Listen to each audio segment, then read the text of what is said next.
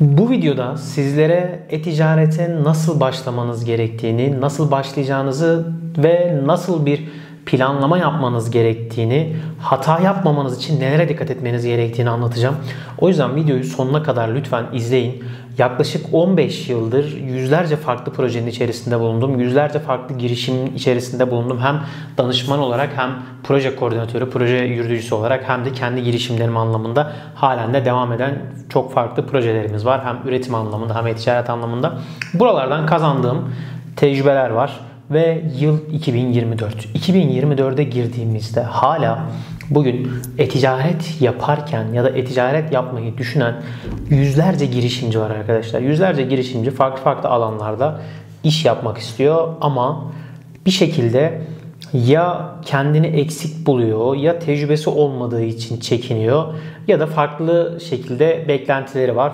Bir şeyleri bekliyor, bir şeylerden çekiniyor arkadaşlar. İşte bugün e-ticaret projenizi hayata geçirmeye karar verdiğiniz andan itibaren harekete geçmeniz gerekiyor. Harekete geçmediğiniz her dakika sadece planlama yaptığınız, sadece hayal kurduğunuz, sadece düşündüğünüz her dakika sizin ömrünüzdeki saatten gidiyor arkadaşlar. Sizin vaktinizden gidiyor. Gençliğinizden gidiyor. Bakın ben 18 yaşımla 30 yaşındayım. 30 yaşım nasıl geçti bilmiyorum. Yani oradaki o 10-12 sene böyle puf oldu gitti yani anlatabiliyor muyum? Çok iş yaptık. Evet çok koşturduk. Çok farklı şeyler edindim ama zaman çok hızlı geçiyor. Anlatmak istediğim şey bu aslında. O yüzden bugün karar verdiysen bugün bir yerden başlamak zorundasın.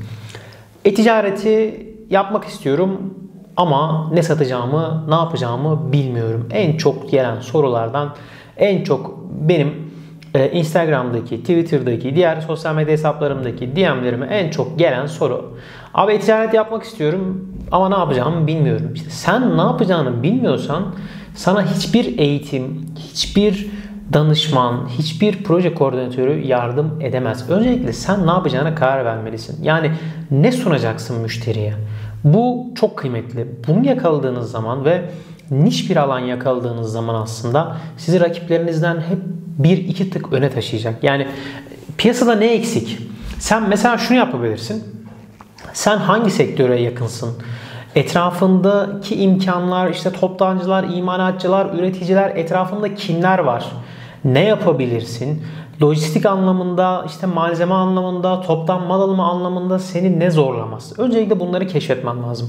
Öncelikle bulunduğun şehri iyi bilmen lazım, iyi araştırman lazım. Lütfen hani e, çok özür dileyerek söylüyorum arkadaşlar. Bugün 22-23 yaşında bazı arkadaşlarımız maalesef İstanbul'da Silivri'den Kadıköy'e gidemiyorlar.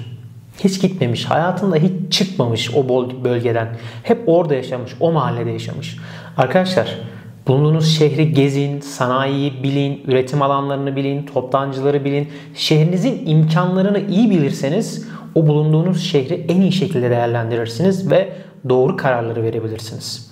Şimdi diyelim ki siz e, e-ticaret üzerinde mobilyadan, ahşaptan oyuncaklar satmak istiyorsunuz. E şimdi bunları satmanız için bölgenizde bir CNC kesimci lazım. Yani o ahşabı CNC işleyebilecek, bunu yapabilecek bir işletme lazım. Bunu fason çalıştıran bir işletme lazım.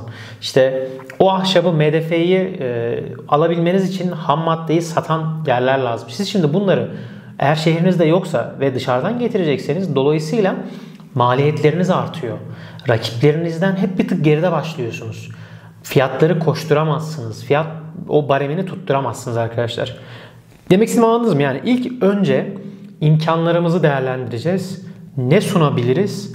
Ne yapabiliriz? Buna bakacağız. Hemen bu araya şunu da aktarayım. Aşağıda linkini yine bırakıyorum ama e, stoksuz satışla e-ticarete başlamak isteyen arkadaşlarımız için çok kıymetli bir projemiz var. Bu videoda vaktinizi almayacağım. Aşağı linkini bırakıyorum. Oradan ulaşabilirsiniz arkadaşlar.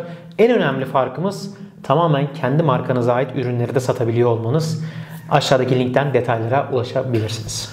Ne satacağınıza karar verdikten sonra marka ve isim belirleme süreci var arkadaşlar. Şimdi burada da e, belirleyeceğiniz marka sizi yansıtıyor olmalı. Yani oradaki o logonuz, markanız sizin ne iş yaptığınızı anlatıyor olmalı. Yani diyelim ki el yapımı ürünler satıyorsunuz. İşte e, yine başında el yapımıyla alakalı bir işte işaret, logo ya da ne bileyim isimde yine el yapımını anımsatan oraya doğru aslında insanların kafasında fikir oluşmasını sağlayan argümanlar kullanırsanız markanızı belirlerken bu çok kıymetli olur. Yani şunu yapmayın işte böyle ben her şeyi satayım işte mehmetmarketing.com gibi bir şey yapmayın arkadaşlar. Bu tutmuyor bunlar artık. Yani bunlar çok eskidendi.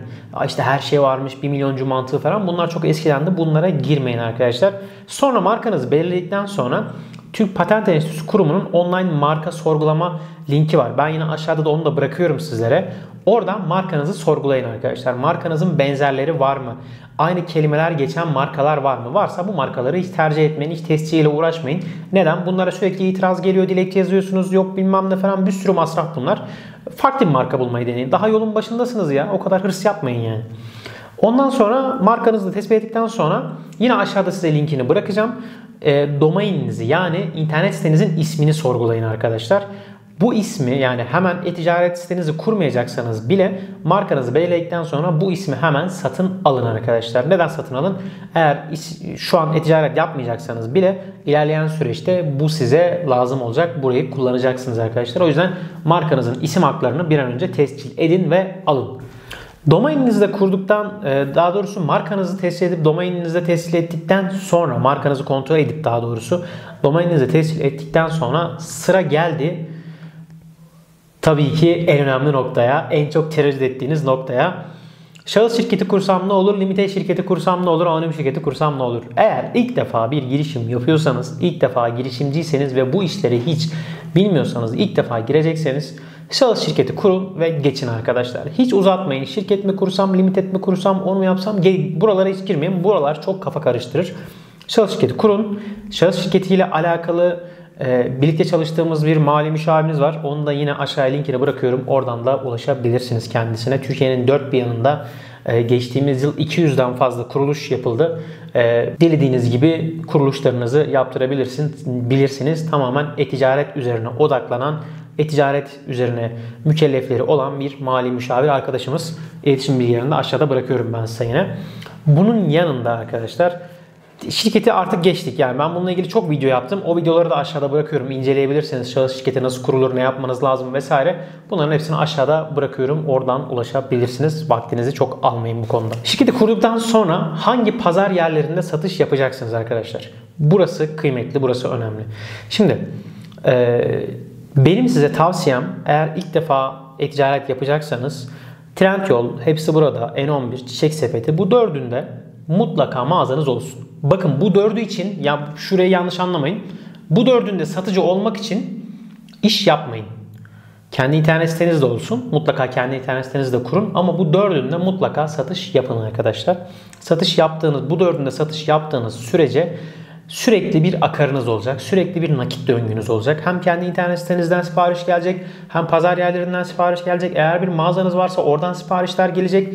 Sosyal medyadan siparişler gelecek siz bu şekilde sürekli bir nakit döngüsüne sahip olacaksınız. Bakın ticarette nakit döngüsü çok önemlidir. Fırsatları değerlendirirsiniz, ham maddeyi alırsınız, üretim yaptırırsınız. O yüzden sizi zarar ettirmeyecek şekilde tüm kanalları kullanın. Kendi internet sitenizi kurun. Pazar yerlerini kullanın. Sosyal medyayı kullanın.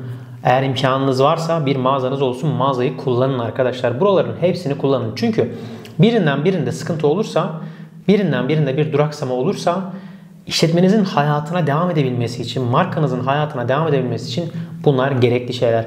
Yurt dışı kısmına sonra geleceğim. Önce bir Türkiye'de oturtalım işleri. Türkiye'de bu işleri öğrenelim. Ondan sonra yurt dışına gidelim. Sakın sakın hiçbir tecrübeniz yokken ben işte Amazon'da satıcı olacağım falan diye bu işlere girmeyin arkadaşlar. Öyle kolay değil. Öyle kolay değil. Evet kağıt üzerinde her şey kolay ama iş pratiğe döndüğü zaman çok sıkıntı çekersiniz. Lütfen Türkiye'de bu işleri tecrübe edin. Türkiye'de bu işleri öğrenin. Ondan sonra devam edin. Geldik e-ticaretin olmazsa olmaz süreçlerinden bir tanesi. Kargo aşaması arkadaşlar. Hangi kargo ile çalışacağınıza şöyle karar vermeniz gerekiyor. Evinizin ya da işletmenizin en yakınında hangi kargo var?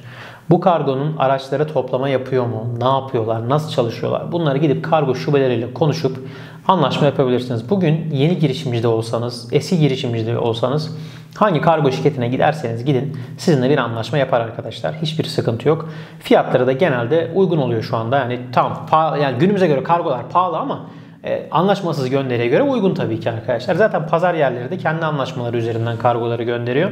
Mutlaka anlaşmanızı yapın arkadaşlar. Bir kargo anlaşmanız olsun. Sonraki süreçte bakarsınız. Çok o şubeyle sorun yaşarsanız başka kargoya geçersiniz falan ama bunlarla kafanızı çok yormayın. Bir yerden başlayın. Bir bismillah deyin. Başlayın. Kervan yolda düzülür zaten arkadaşlar. Düzeltilir bir şekilde bir hal olur yani o. Ürünlerimizi belirlemiştik. Ürünlerimizi kendi internet sitemize yükledik. İnternet sitemizin altyapısını belirleme kısmını anlattım. Orayı da atladım arkadaşlar. Orayı da aktarayım sizlere. Ee, kendi internet sitemizde satış yapacaksak mutlaka bir e-ticaret altyapısı kullanmamız gerekiyor. Tabii ki biz de Copyfix olarak sizlere e-ticaret altyapıları sunan hem de piyasanın ortalama %50 altında bir fiyatla e-ticaret altyapısı sunan bir firmayız. Onu da yine aşağıda size linkini bırakıyorum. Oradan da Copyfix markamıza ait e-ticaret altyapılarına ulaşabilirsiniz arkadaşlar. E-ticaret altyapısı belirlerken sizlere hiç ihtiyacınız olmayacak modüller satılmak istenebilir. Hiç ihtiyacınız olmayan özellikler satılmak istenebilir arkadaşlar. E-ticaret altyapılarına sırf markaya kanıp da yıllık 40-50 bin lira para vermeyin. Ben bu kadarını söyleyeyim. Ondan sonrasını siz zaten araştırdığınızda göreceksiniz arkadaşlar. Yine sorunuz olursa da mutlaka bu videonun altında sorabilirsiniz. E-ticaret altyapılarıyla alakalı tüm sorularınızı. Ülkemizde çok kaliteli, çok güzel e-ticaret altyapıları var. Ama sizin ihtiyacınız var mı? Bu kısım çok önemli. Bu kısmı iyi değerlendirmek lazım. Sitemizi de kurduk. Ürünleri yükledik.